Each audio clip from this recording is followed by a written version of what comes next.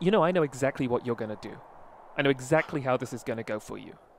You're going to send me off to God knows where, where I'm going to get fucking pecked apart by birds in two weeks. Just you see, the money will go really quickly. And then you, you and your friends are going to fucking.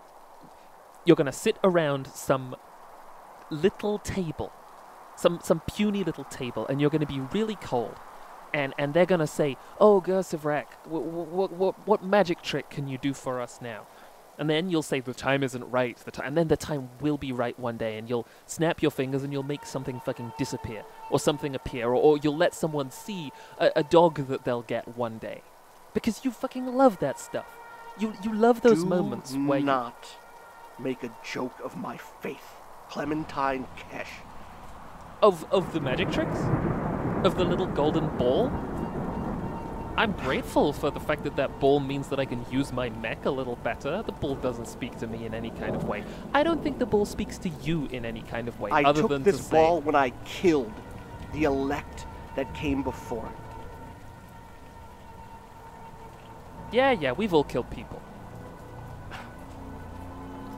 You like to stand up there, and you're going to at that table. They're going to say, "Oh no, Orion's coming, Columnar's coming," because they will come.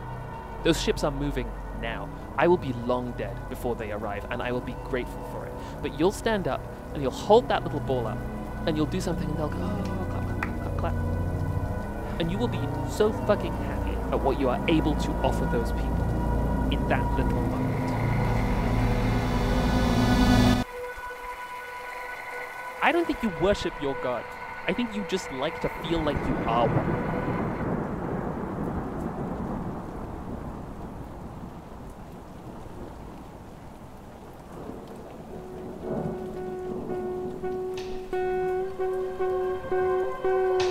Thank